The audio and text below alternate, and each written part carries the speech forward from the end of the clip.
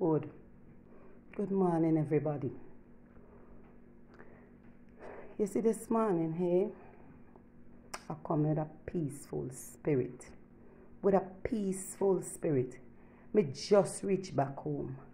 Because old people have a saying, you know, empty barrel make the most nice. Mrs. me last night, she couldn't sleep for the noise coming from over by Colin Place. Empty, empty barrel make the most noise. She said, if you hear over there. So me, me was curious and me proceeded to look on Colin page and me understand what sissy been say.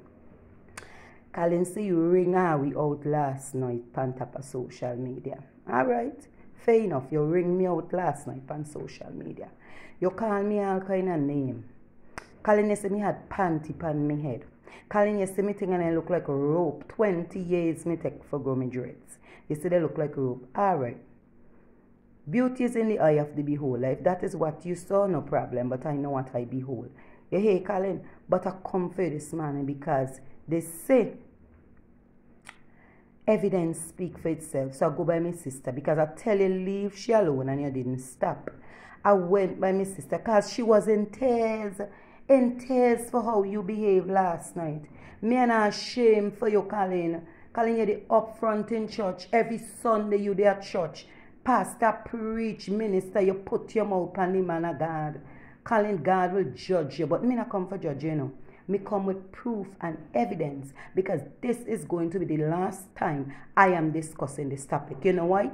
People they out, they are dead wars and rumors of wars in the last days. So me have time with this petty nonsense. If you had thing for talk, we will talk. Cause I don't have you as my enemy, you know, Colin. You're not my enemy.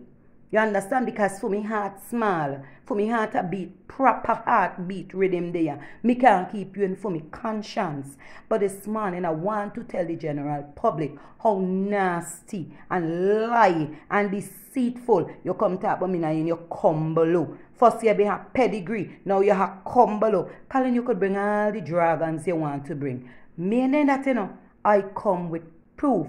And I want to prove to people that I wasn't lying when I said don't leave my sister alone. My sister had everything put up. Where you not send for she, where you not do for she. She had all the evidence. You think you have evidence?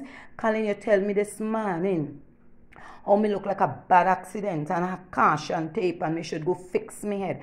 All them thing they tell me this morning, you know, Colin. Okay, so you notice caution tape. What caution tape say? You mustn't go there. Danger. Colin, why you feel you could run upon me? Why you feel you could run upon me if you notice the caution tape? Something wrong with you intellectually? Okay, listen. I go and turn the camera and I go walk through what you send my sister for Valentine's because she didn't want you. The thought of, of, of this and the audacity are you calling. My sister is class, top class, good, good, good, good stock. Hey, when me show people the kind of things you send for my sister, Colin. Eh? The kind of things you feel you could send for my sister and say how you her class I am going to show people where you be and where you all about in a next video. You know why?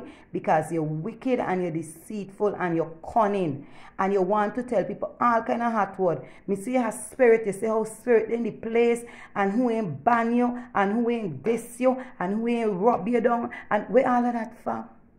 Colin, I don't need that. Once I have Jesus, that's enough. I come into you in the name of the Lord because I don't afraid you, Colin. I don't afraid you. I say, my sister, quiet. Pansy, quiet. I quiet to you know. But when you see I trouble me, I will come for you. So I am going to show people where you, Colin, send my sister for Valentine's. I'm coming back.